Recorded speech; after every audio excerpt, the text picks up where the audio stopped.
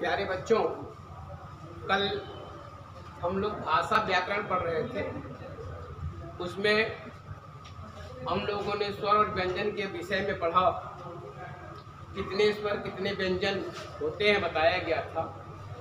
और आज उसी व्याकरण से संबंधित हम लोग आगे बढ़ रहे हैं, जिसमें व्यंजन के विषय में बताया जाएगा।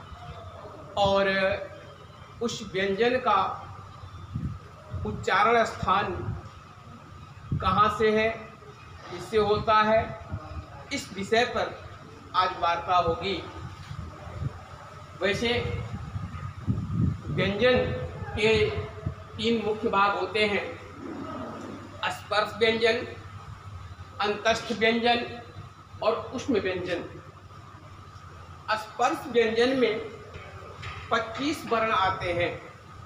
क से लेकर के म तक जो वर्ण हैं, इन वर्णों को हम स्पर्श व्यंजन कहते हैं। अंतस्थ व्यंजन चार होते हैं। यह चार य, र, ल, व है। इसके बाद है उष्म व्यंजन। उष्म व्यंजन भी चार होते हैं। और वह है स ख, स इसके बाद इन स्पर्श व्यंजन का और जो व्यंजन है, उनका उच्चारण स्थान कैसे है, इस पे आप देखें। जिसमें अ, आ, क वर्ग। क वर्ग का तात्पर्य है, क, ख, ग, घ, अंग। यह क वर्ग कहलाता है। इन और ह, इनका उच्चारण स्थान कंठ है और इसका सूत्र होता है अकुह विसर्जनीया नाम कंठ।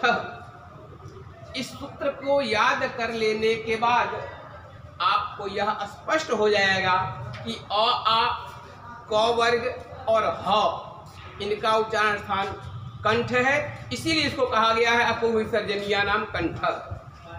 दूसरे वर्ण में आप पहुँचते हैं तो यह आपका होता है ई ई, य, स, च वर्ग। च वर्ग आपका च, छ, ज यह होता है। इनका उच्चारण स्थान तालु है। और इसका सूत्र होता है इचु यसानाम तालु। इचु यसानाम ताल जब आप याद करेंगे तो उसमें आप देखेंगे, ई मिल जाता है, चौ वर्ग मिल जाता है, य और सौ। मिल जाता है। और इसको देखते हुए इसका जो है नाम दिया गया है। इचु यसानाम ताल जो इसका सूत्र है। इसके बाद है आपका री री, र और खटकोण का ख तथा ट वर्ग। ट वर्ग में आता है, ट, ठ ढ, अण। इनका उच्चारण स्थान मूर्धा होता है और इसका सूत्र होता है ऋतु रखाणाम मूर्धा इसके बाद?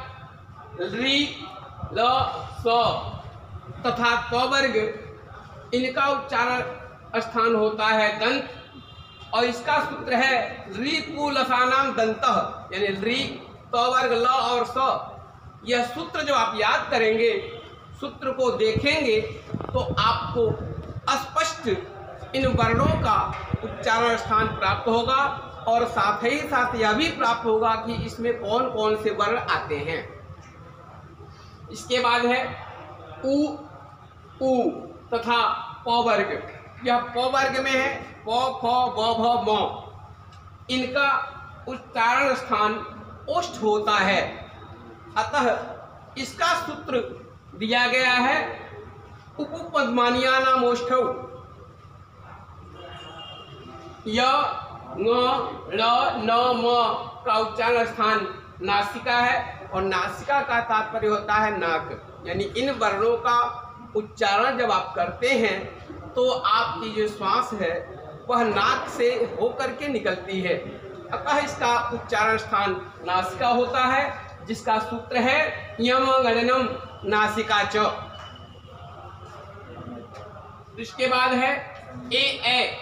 ए ए का उच्चारण स्थान होता है, कंठताल इसका सूत्र होता है, ए दई तोरव।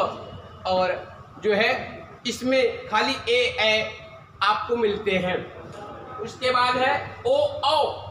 ओ, औ का उच्चारण स्थान कंठोष्ठ होता है, और इसका सूत्र है, ओ दई तो कंठोष्ठम।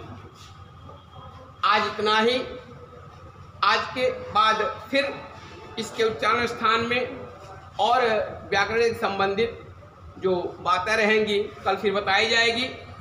साथ ही साथ कल आपको संधि में भी कुछ संधियाँ बताई जाएँगी।